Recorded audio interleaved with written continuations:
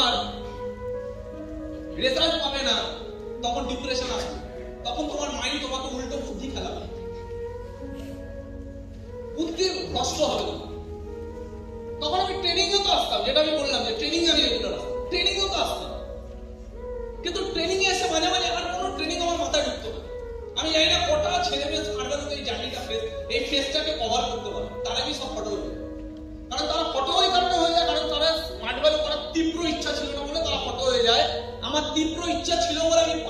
Without any income without any pin without any team আমি স্মার্টভাবে পাঁচ বছর কাটিয়েছি এবং পাঁচ বছর কাটানোর পরেও মেন্টালি কি কি ফেস আসে শুধু ফিজিক্যালি না, শুধু সিচুয়েশন ওয়াইজ না মেন্টালি কি কি কি রকমের প্রবলেমস হয়, আমি সেগুলো সব ফেস করছি। এবং পাঁচ বছর পরেও যে ছেলেটা স্মার্ট ভ্যালু ছাড়া কিছু বোঝে না, পাঁচ বছর পরেও তার ভেতরে ডাউট আসে। পাঁচ বছর পরেও আমার ভেতরে ডাউট এসছে, যখন আমি ট্রেনিং হলে বসে থাকতাম, আমার চারিদিকে এত অন্ধকার। চারিদিকে এত প্রবলেম বাড়ি থেকে বেরোচ্ছি, না খেতে বেরোচ্ছি প্রত্যেক দিন গালাগালি, এ টোন কাটে, ও টোন কাটে রিলেটিভ পাড়া পড়শি, পাড়ার একটা কাকুর নতুন বিয়ে করে এসছে সেই বৌদি। বোঝাতে পারছি কথাটা কি বলতে বন্ধু বান্ধব রিলেটিভ চারিদিকে অবস্থা খারাপ। একটা চটি কেনার পয়সা নেই আমার কাছে। একটা চটি কিনতে যদি দুশো টাকা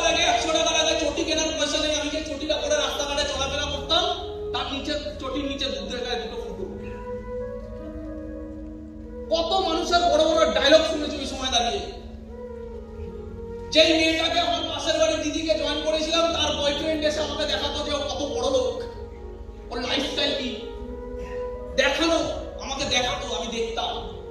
কিছু করার নেই, মানুষের যখন খারাপ সময় আছে তখন সবার জ্ঞান শুনতে হয়, সবার টোন শুনতে হয়, সবার স্বভাব দেখতে হয়।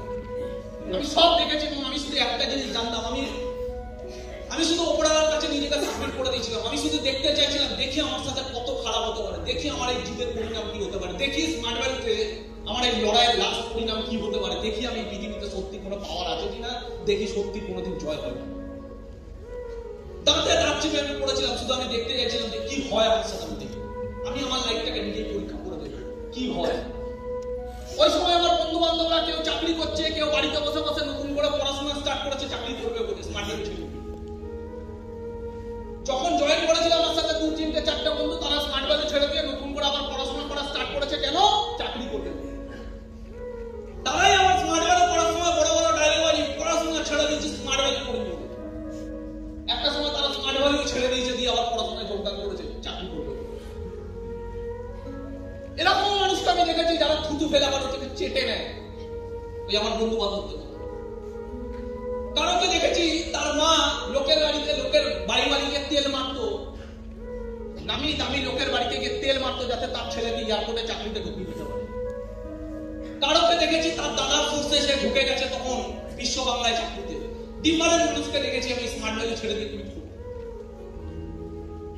বুঝতে পারছ কথাগুলো কি বলতে চাইছি? হ্যাঁ কি না?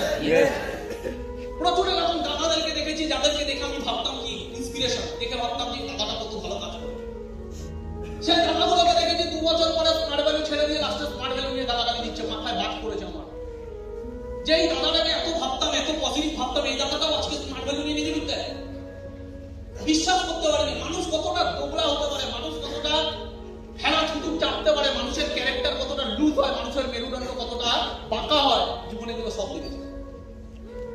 দেখতে দেখতে দেখেছি বন্ধু বান্ধবদেরকে নিজের চারিপাশের বন্ধু বান্ধব যাদের সব থেকে বেশি গরিব আমি ছিলাম। দেখেছি যে তারা আস্তে আস্তে কোনো চাকরিতে যাওয়ার প্রস্তুতি নিচ্ছে, কারণ কনফার্ম হয়ে গেছে, পাবে, কেউ পেয়ে গেছে।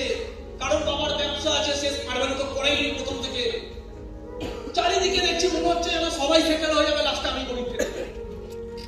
এবং স্মার্ট ভ্যালু ট্রেনিং নিতে নিতে একটা জিনিস আমার ফিলিংস চলে এসেছিল, জীবনে কিছু আমাকে করতে হবে? না এই জীবনটা বৃথা।